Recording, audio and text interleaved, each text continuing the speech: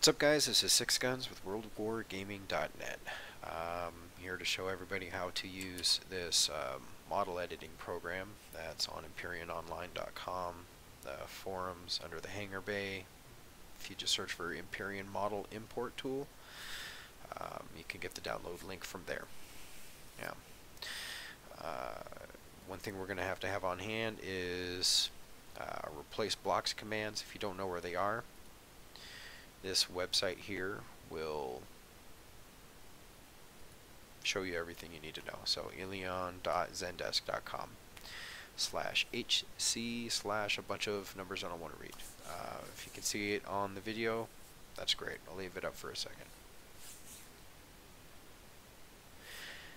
Alright, on to our project. So I already have my blueprint created but I will go through the steps on what I did to do this. Um, I put in a blueprint size of 300.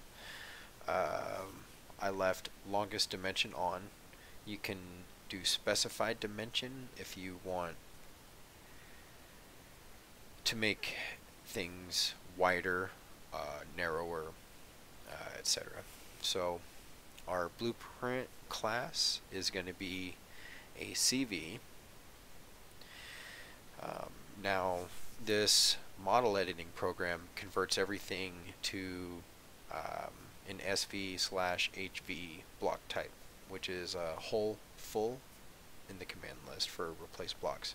So that is a regular steel block for SVs and HVs. Um, if you want to do reflection um, for mirroring these objects, um, you can play around with that, but for this tutorial, we'll just show how to make this program possibly work for you. Um, morphological smoothing is going to be like an erosion filler uh, for 90 degree uh, corners. Um, it'll attempt to round things off uh, and it gives a really really cool and um, almost unique look. Um, the dilation and erosion um, are preset to 5. You can lower this, raise this. Um, now when I'm, usually when I do these, uh, I usually do a bunch of them in batches so that I can uh, test maybe 10 or 20 of them out at a time until I get the, the look that I'm going for.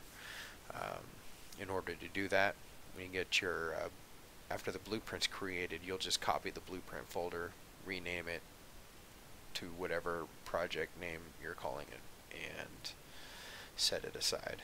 So, hollowing radius, um, I actually went with two. I wanted to, uh, I figured if I'm going to, the bigger I make the ship, I'm obviously going to want to make uh, the walls a little bit bigger.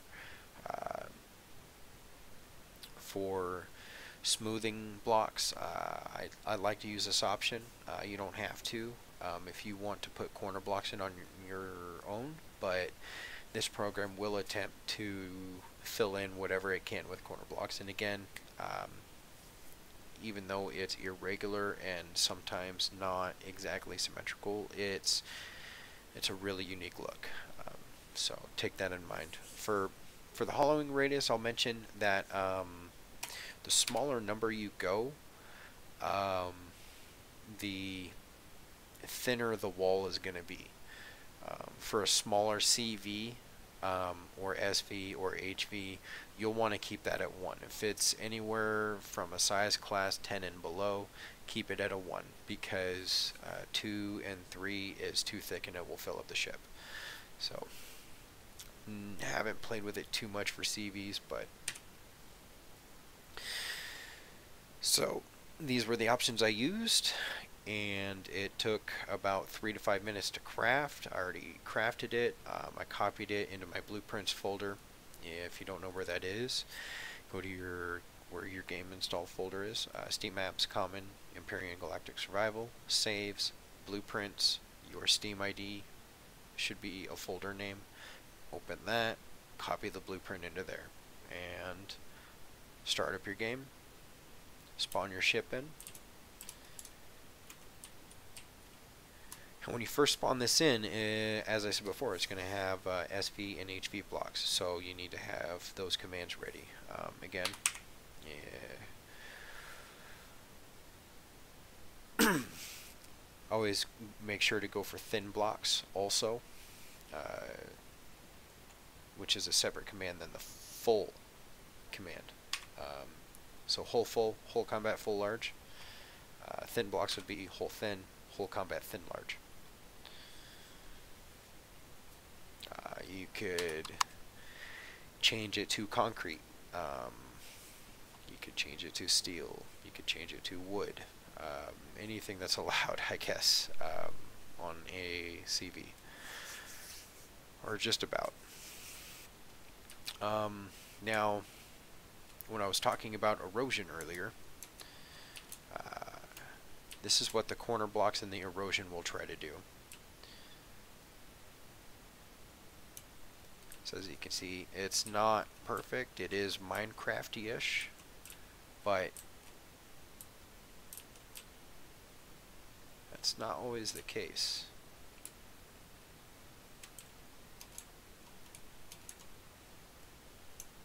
And I think it looks pretty, pretty flippin' awesome. On the inside, uh, you can see this a lot more. This is from the morphological uh, setting. It's uh, pretty cool. It's almost like a ribcage effect. I think it's pretty awesome. Alright, um, I already saved this blueprint um, after I converted the block type. Uh, so this is a legal blueprint to use if you're going to spawn it in and modify it. Uh, I named it Destiny underscore remake, uh, updated it, and put it on the workshop. So if anybody has any questions, feel free to message me.